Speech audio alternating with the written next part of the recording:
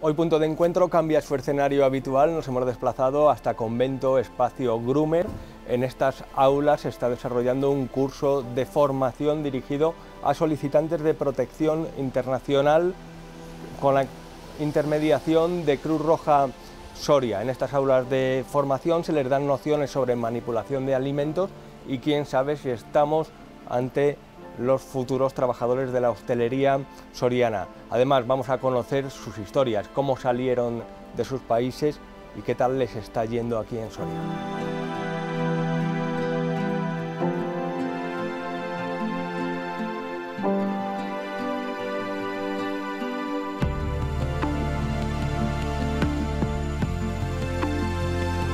Bien, pues dentro de este curso nos encontramos con Eva María Alonso, que es técnica de empleo de Cruz Roja eh, Soria, que nos va a explicar en qué consiste este curso de cocina, de manipulador de alimentos para personas que han solicitado la protección internacional. ¿Qué tal, Eva María? Muchas gracias por atendernos.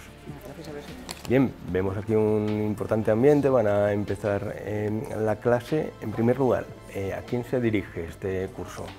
Este curso está enmarcado en un programa que es itinerarios laborales para solicitantes de protección internacional. Entonces el curso es, digamos, la capacitación profesional dentro de un itinerario laboral que lo que pretende es eh, mejorar la empleabilidad y las habilidades eh, de solicitantes de protección internacional. Supongo que, como siempre, el empleo es una vía hacia la integración, ¿no? Claro, es, eh, digamos, la parte final o, um, eh, para la plena integración en, la sociedad a la que han llegado, en la que solicitan protección. Entonces, eh, consiguiendo el empleo es como se alcanza la plena integración. Eh, me decías que estas personas, muchas de ellas se encuentran en pisos de acogida de Cruz Roja, otras eh, llevan una vida independiente, ¿no? Eso es.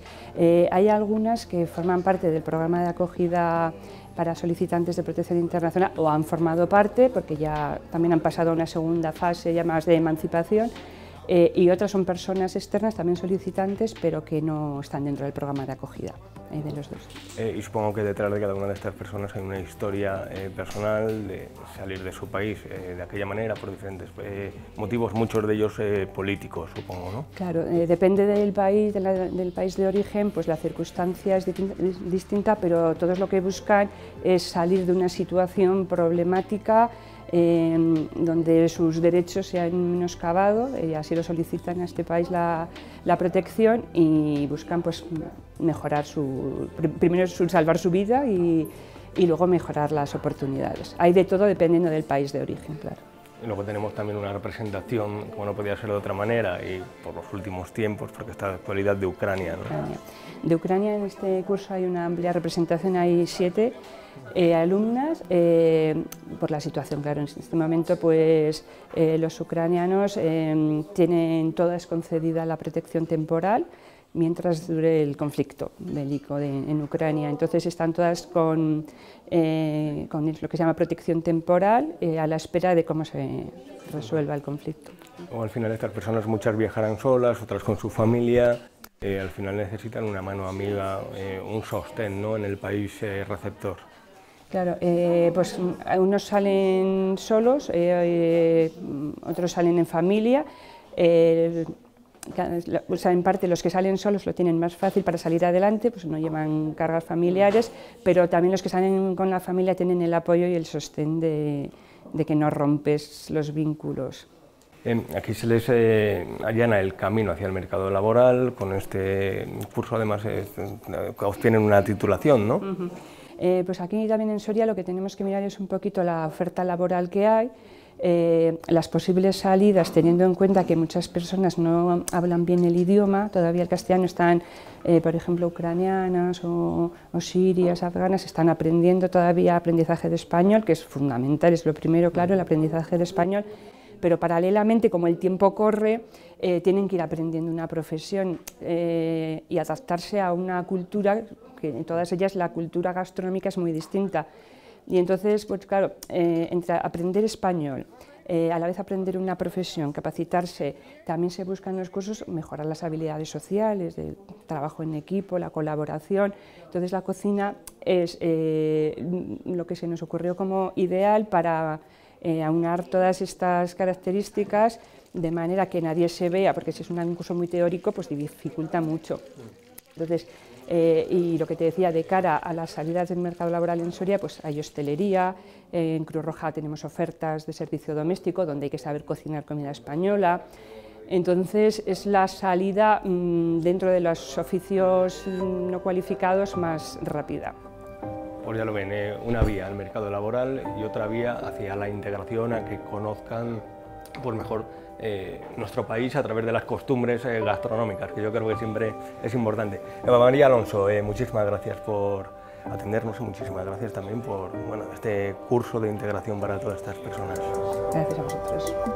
Como bien comentamos, tenemos que tener muy en cuenta cuando elaboramos productos qué tipos de alergias e intolerancias podemos encontrar en, en los alimentos. Juan Carlos Benito es el encargado de impartir el curso eh, ¿Qué tal, Juan Carlos? Gracias por recibirnos aquí en tu aula de formación, en tus cocinas.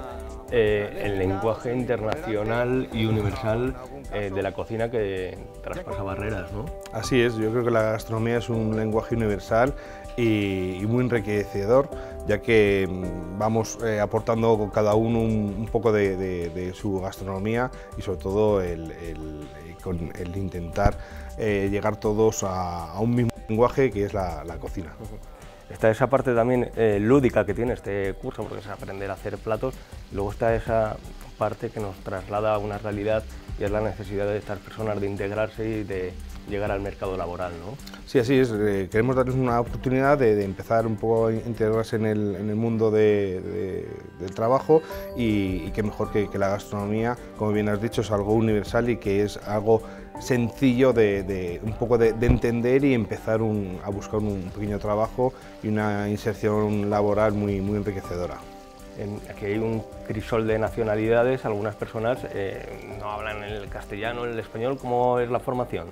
Pues la, verdad es que, es muy más fácil de, lo que se piensa, ¿no? porque sí que mm, hablan eh, un poquito, pero a través de, traductor o ellas mismas, las compañeras, se, van ayudando y los alimentos eh, tienen un, visualmente son igual tanto aquí como en Ucrania o en, Sudamérica y, a través de, la gastronomía tenemos una, unión, aunque parece muy complicado, pero a la vez que, se consigue una, finalidad que es el, poder conseguir eh, explicarles las recetas a través de, los alimentos y la verdad que, que es más sencillo de lo que parece. Eh, la hostelería soriana, diría que la hostelería a nivel nacional eh, precisa de mano de obra, de más mano de obra eh, cualificada. Estos cursos se dirigen especialmente también a esos, ¿no? a tocar sectores necesitados de esa mano de obra. Así es, intentamos fomentar un poco, crear nuevos puestos, perdón, rellenar esos puestos de trabajo que están vacantes, insertarnos con una pequeña base de, cocina ya que la cocina eh, necesitas mucha experiencia, nunca dejas de aprender, pero siempre hay que empezar por algún lado. Entonces nosotros intentamos darles un poco la, base, introducirlos un poquito en la, gastronomía, en la hostelería, para que encuentren un trabajo y puedan desarrollar una vida laboral. Aquí en estas aulas eh, impartes muchos cursos, incluso para personas a título individual, ¿no? que quieren pues, manejarse en los eh, fogones en su casa, en el ámbito privado y luego está este tipo de cursos, eh, a ti como profesional, supongo que también te aportará nuestras experiencias, estas personas que llegan a nuestro país como llegan. Totalmente, porque eh, aunque ellos vienen a aprender nuestra gastronomía, yo también aprendo de, ellos, porque ellos siempre nos dicen, pues mira, en mi país se hace de esta manera o se hace así, utilizamos estos productos. Entonces, es un intercambio de, culturas y de conocimientos. Ellos se enriquecen, pero yo también me enriquezco de, sus conocimientos, de, su cultura, de su gastronomía, que, luego también eh, esos conocimientos los hacemos llegar a, otras gentes, entonces hacen un, pequeño combinado e intentar expandir todos estos conocimientos gastronómicos a más gente.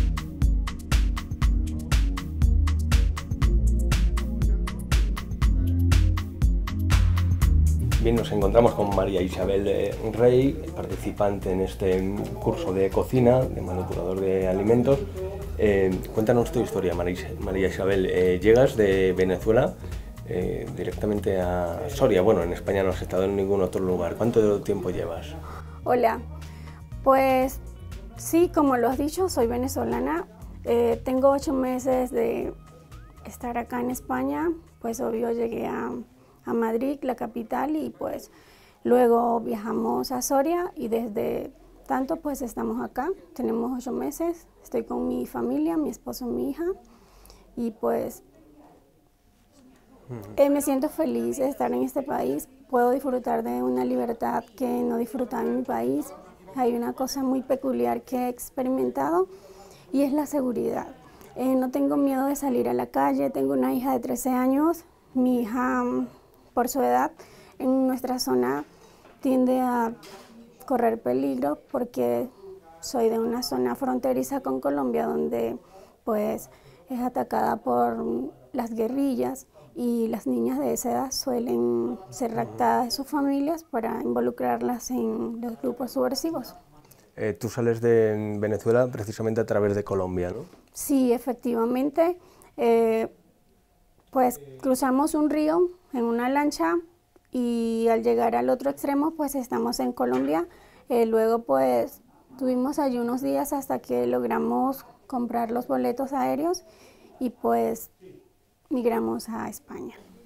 Eh, tú eres periodista. Sí. Eh, ¿Cómo es la práctica de la profesión allí en Venezuela? Bueno, es una de las razones por la cual he emigrado de mi país.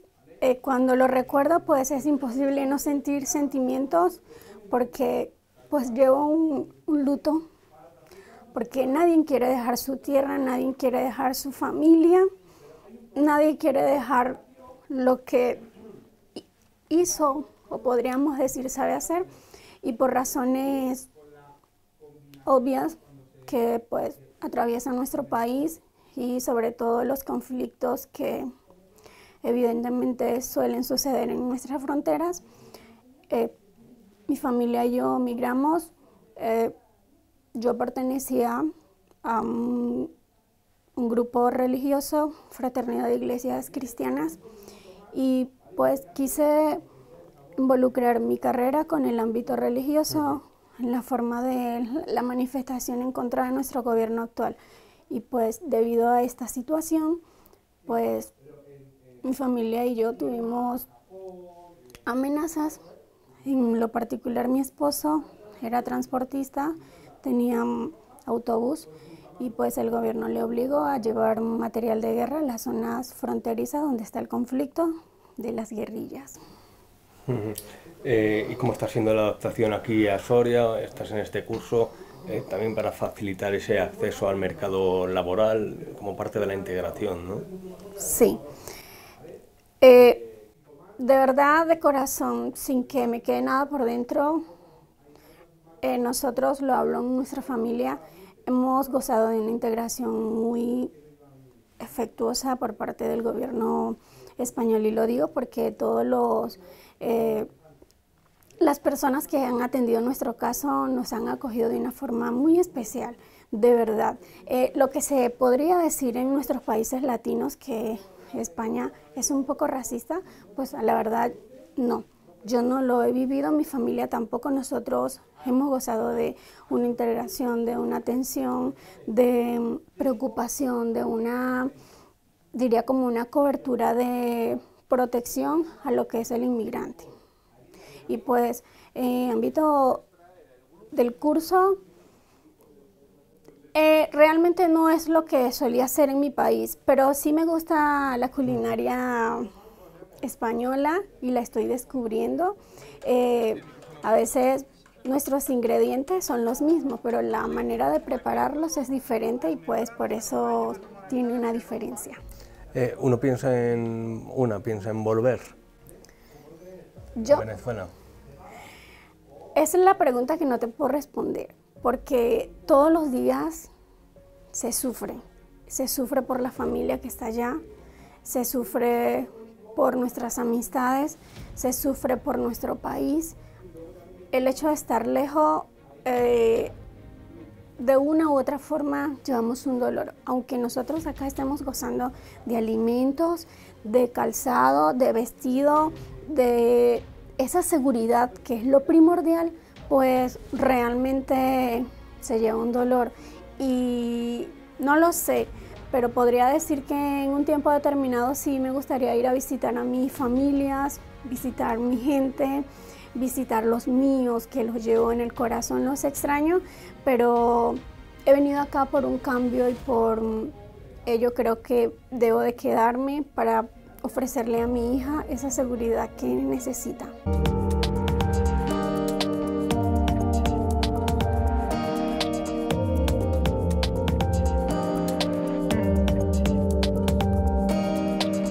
Bien, pues nos encontramos eh, con Marina, que llega de Ucrania. Ustedes ya saben las eh, circunstancias que se han dado en este país, pero además eh, tú, Marina, estuviste anteriormente en España, ¿no?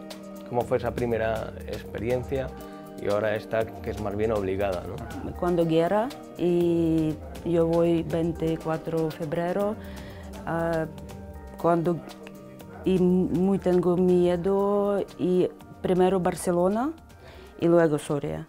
Primero Barcelona Hotel, con donde mar, eh, cerca de Barcelona, Calella.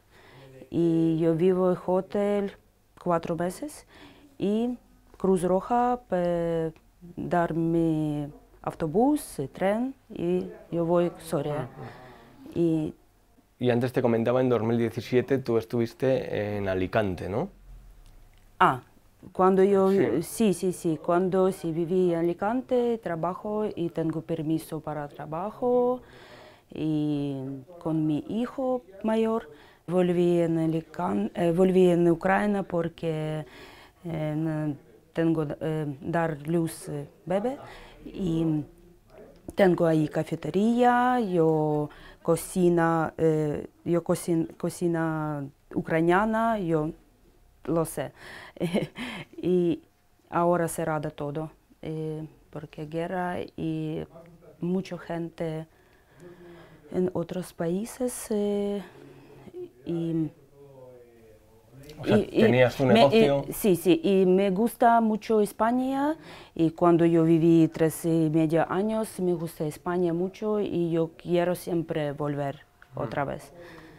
Y, o sea, tenías tu negocio cuando regresaste de Alicante, tenías tu negocio cerca de Kiev, de la capital, y que ahora está cerrado, ¿no? Eh, ¿Qué tal el curso? Muy bien, me gusta mucho, muy interesante de cocina, cocinar eh, española, em, muy rico, me gusta mucho todo, tortilla, paella, carne, pollo, todo. Y yo eh, muy importante porque yo quiero abrir cafetería aquí o mm, primero trabajo, ayuda con cocinero y luego miramos eh, para, para abrir eh, cafetería o restaurante. Necesito dinero para este, vale. Sí. Tienes experiencia además, ¿no? Sí, sí, sí, sí, sí, ¿Cómo se ve la situación desde aquí eh, de tu país? ¿Cómo se vive ahora que llega el invierno, ahora que la situación eh, se complica? ¿Cómo ves Ucrania desde Soria? Sí, muy mal eh, ahora esta guerra y no sé, que cada día llora porque mi padre ahí, mi abuela, no quiere vivir aquí que todos esperas para terminar guerra, todos esperan. Y no mira por cuándo termina, no